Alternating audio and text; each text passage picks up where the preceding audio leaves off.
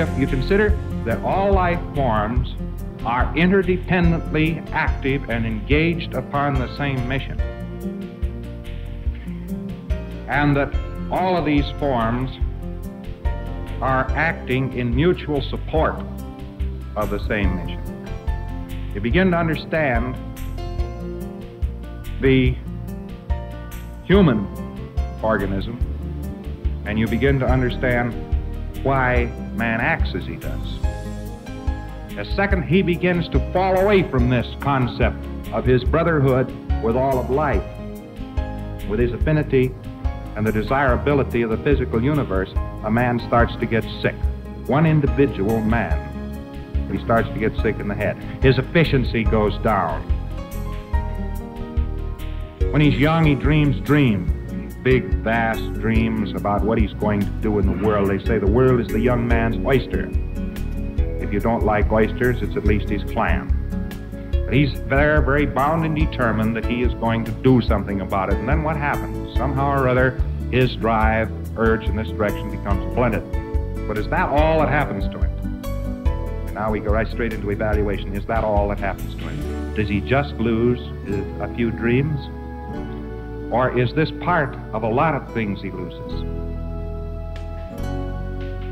A man ceases to postulate desirable futures, in other words, ceases to dream in direct ratio that the physical universe has proven itself antipathetic toward him, and that other life forms have proven themselves antipathetic toward him.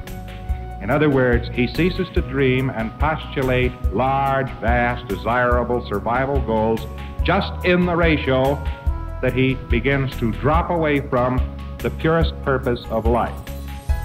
He starts to single himself off into an individuality. He begins to fall back. The second he does that, and the further he goes, actually the more and more dangerous he is to other life forms. He becomes dangerous to those life forms because he is not in full cooperation with them.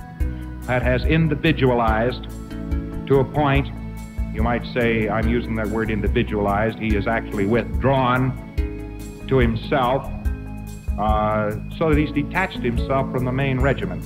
He's become Johnny out of step, and he is not going to be able to do as much to the physical universe as before those vast dreams were burst. Now, with Dianetics, you can straighten out and realign this person. You don't even have to go in on the case and tell the fellow, no. But what you're trying to do is conquer the physical universe. Now, you better line yourself up with the rest of the life forms around you, and you better tackle this thing, or you'll know the reason why. You don't do that.